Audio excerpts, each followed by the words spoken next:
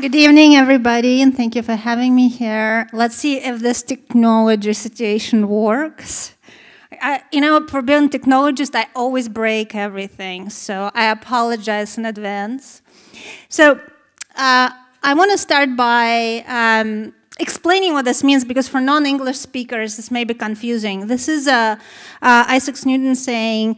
Um, that he could see further only because he stood on the shoulders of giants. What this means uh, for a non English speaker is that he was able to achieve what he achieved um, and discover what he discovered only because he remixed stuff and borrowed from others. So I want to talk a little bit and um, about that, and I want to go uh, follow in his stead and stand on the shoulders of giants that are here in this room today. Every single image in this presentation is uh, it has been made by somebody who donated it um, with the Creative Commons license. And I will take you on a journey that connects both the early morning presentation on economics and uh, the emotion uh, emotional connection at the very end. So uh, let's start with economics. And to me, economics means getting some pizza. So um, one concept that this illustrates is a, uh, is a concept of rivalry. What rivalry means is that if I have something and I consume it like a piece of pizza, you can no longer have it. And uh, you have to get a new one. It's, it, it means that there's a world, it's, it's very common for the world of scarcity, where resources are very limited. So uh, if you can't have pizza, can you have more knowledge? And in fact, up until fairly recently, knowledge did and still does, and to a great extent, abide by the same standard because it actually takes resources to print a book uh, and uh, when you sit in a classroom, there's one teacher, let's say 20 students, 20 books. Maybe in the olden days, there's an encyclopedia uh, on the wall. So there's only so many students you can educate at any given time. And the same thing with print. We got from uh, me telling you an idea, you telling somebody else, uh, to being able to replicate it on paper, ultimately on print. But then computers came along and everything, this, this world of scarcity of ideas, this world of rivalry, completely got flipped on its head. Magic happened. So, and with that magic, um, a lot of interesting things came along, including all of you here. So this is an image of um, the NASA's image that NASA released when they discovered that those uh, black streaks in the eyes is actually water. Um, so they announced the water on Mars, and that news went simultaneously to 8 billion people. Um, and everybody could consume that news and that information at the same exact time. Well, no, I, I actually didn't get it, didn't get the memo in time. My 10 year old son got it before me, which was kind of embarrassing.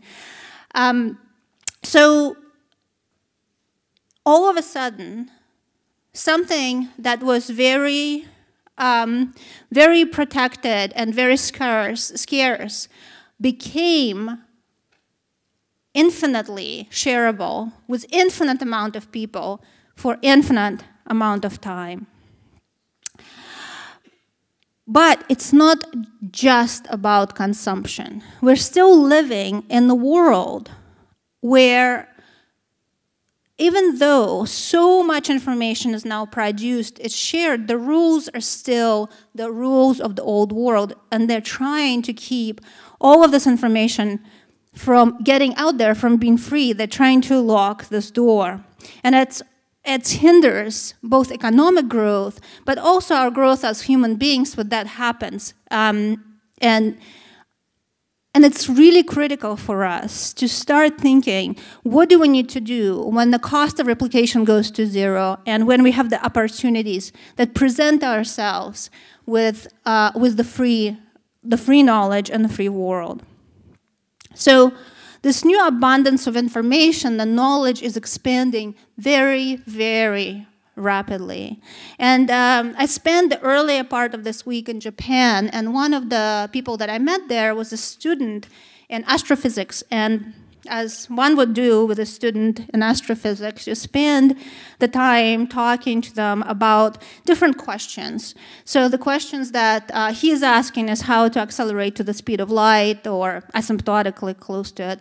Um, and uh, we started talking about how he got to this place of studying astrophysics.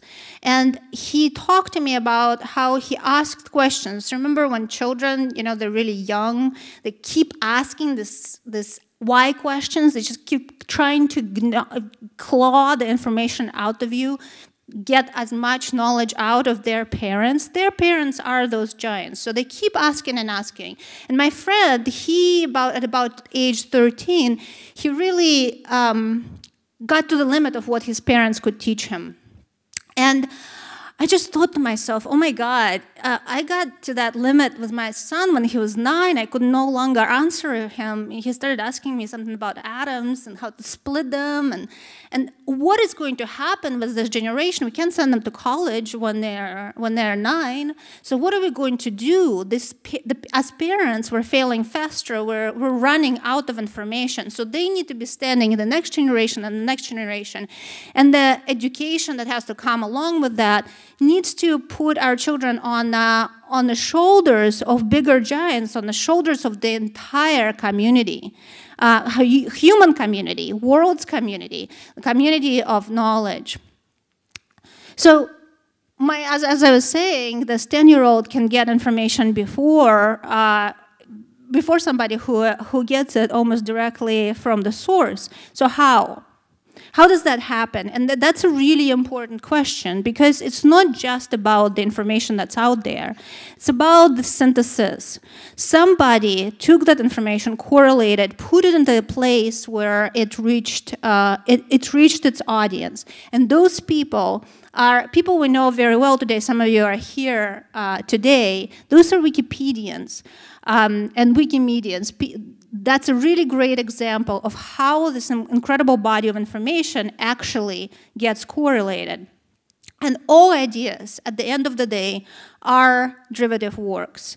When somebody says, uh, has an original idea, it makes me laugh because everything is learned and everything is correlated and transformed into something else. So the faster we share those ideas, the faster we learn. So in order to do that, we need this access to knowledge of yesterday, of today, and of, of now as quickly as we can. So all of us, in other words, all of us need those giants. And what's incredible is those giants, we are those giants in this room. Because every single person in this room has created something and made something for others to use, to learn, and to grow with. Wikipedia and Creative Commons are a symbiotic relationship in that way. Wikipedia would not be possible without what Creative Commons uh, enables and the things that people produce with it. We both have really big missions. For Wikipedians, it is a world in, every, in which every human being is like you here today that every single human being shares in the sum of all knowledge.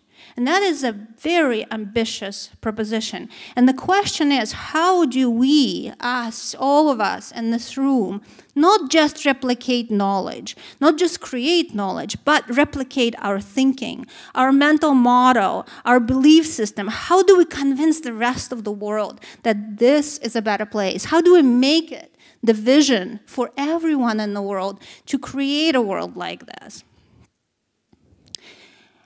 And I think it is really critical for us to be there to strengthen one another. We need one another, and we need another hundreds, if not thousands, of communities in this boat with us in order for this to become the main, the dominant way of thinking about the world.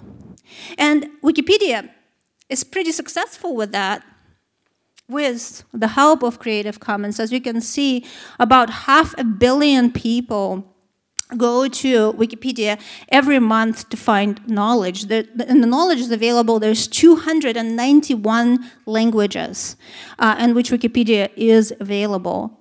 There are nearly uh, 100 uh, different organizations around the world that, uh, that are Wikimedia organizations. And in terms of knowledge creations, there are about 8,000 articles that get created every single day. That's pretty amazing, you would say, right?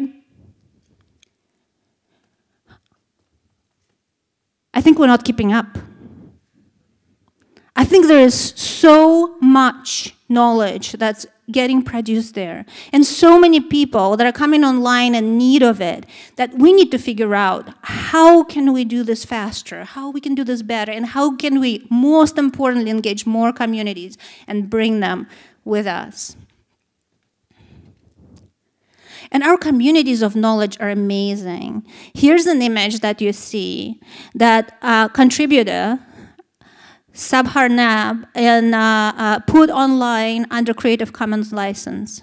Well, without his even knowledge, this image has been reused on this article about the definition of child on at least three Wikipedias. And it's used much more than just this. So, so he was the original giant that, and then hundreds of people came in to write, write the articles that were the giants that came, uh, stepped on his shoulders. And now we can use this for whatever other works we want to produce. Wikipedians do many things. Another thing that is really important that, that we do together is preserving the heritage of this planet, preserving the, the history of this world, because the history is constantly changing, and we keep it up to date we keep it constantly going. So um, last April, when disaster struck, when the earthquake stro uh, struck in Nepal, our community around the world started to work on pulling together the images of the this, this, of the um, architecture that was broken, of uh, of the artifacts that were destroyed. Within a couple of months, they pulled together 1,500 images of the artifacts that disappeared. In fact, one of our first Wikipedians in Nepal, Ram Prasad, who lives three hours away from the nearest road in a place where there is no electricity, he does all of his edits with a little phone. It's not, it's not even a feature phone. Um, and he charges it off, it off of the solar power. He made 6,000 edits all by himself on this little tiny phone.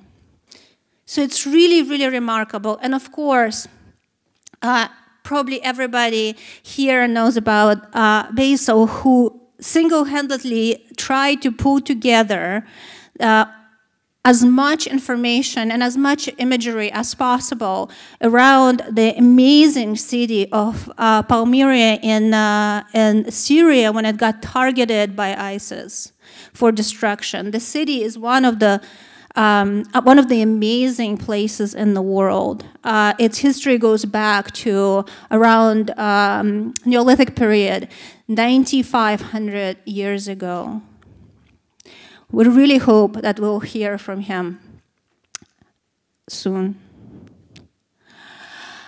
All, all of these, all of these are example of Wikipedians and Creative Commons working together side by side, supporting the society, supporting the generations that are coming behind us. In art, Michael Mandiberg created a recent project where he printed uh, Wikipedia, just English Wikipedia, and put, tried to put it on the wall. Well, the wall didn't, it didn't fit. There were 7,437 tomes of it. You can purchase one now that the project is over. That and have a tome of Wikipedia accurate as of April 7th, 2015. And of course, a lot of us here probably also heard of Jack Andraka, who um, was, oh, barely a teenager, he was 13 or 14, when uh, uh, one of his uh, family members uh, got diagnosed with cancer.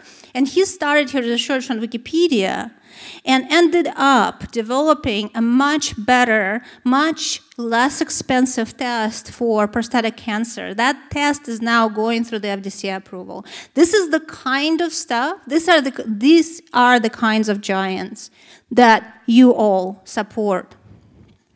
But being a giant is not enough. Creating another, supporting another person is also not enough. We need to grow and nurture that, those other giants. We need to turn the world into, into a world of people who share and help others.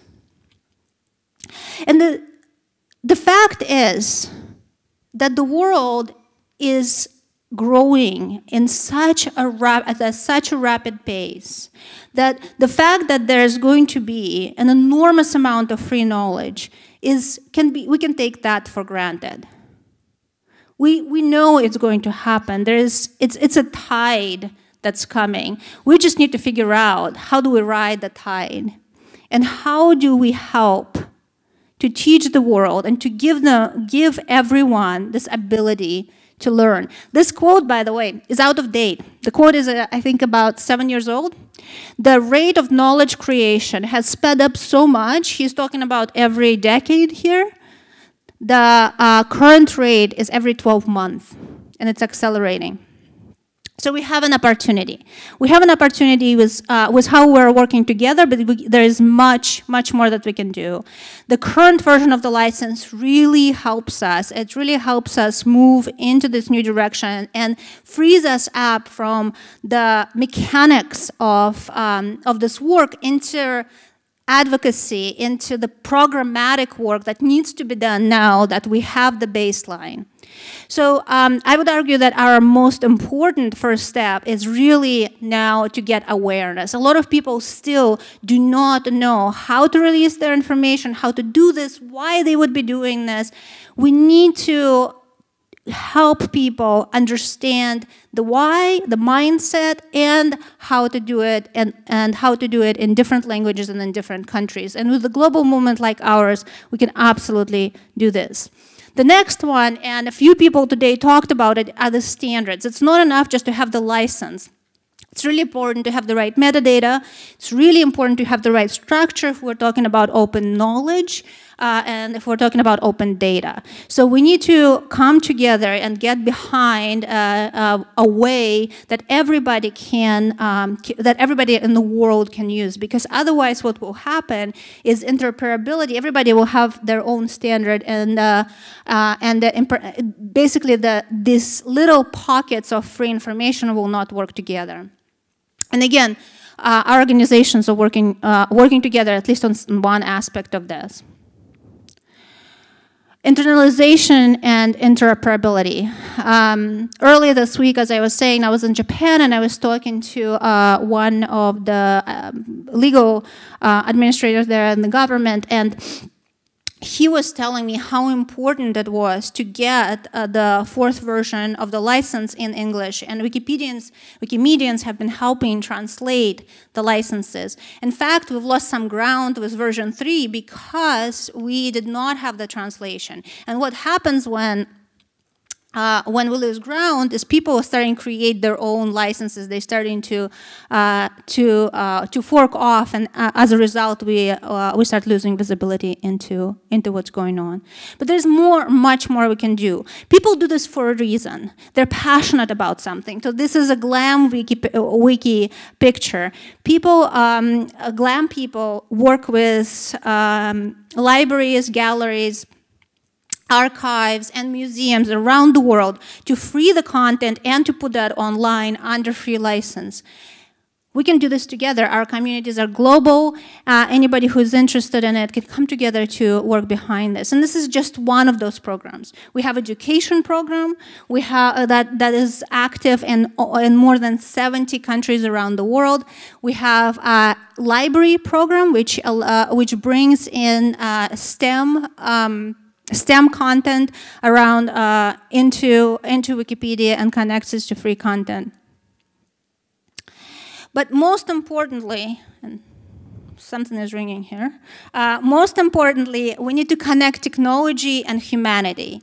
Uh, we need to connect, connect our ability to uh, create these works, uh, to make them available with people's desires and people's thinking around it. We, we need to not just share, we need to bring synthesis and exploration and share at the end of the day, like I was saying, share who we are and how we think about the world so we can shift the paradigm time of this, of this little planet so that we can ultimately create not just a replica of Wikipedia, but the book of knowledge that Yochai talks about. We are at the second step of the law of diffusion of innovation. We've innovated. We've got this off the ground. We now need to make it known. We need everybody to know about this so that we can get all of those people that uh, in the morning we were talking about that are kind of blah on the sidelines, I'll do it if everybody else does it. In order to get them to participate, we need to make our voices heard. We are those innovators. We showed what this can do, and we are the very, very critical point. Now we have an opportunity and responsibility to bring the world with us. Because we don't know where that next giant might be. She might be finding the way to Andromeda. And we need to get ready to get her there. And the only way we can do this is by doing this together. Thank you. 감사합니다.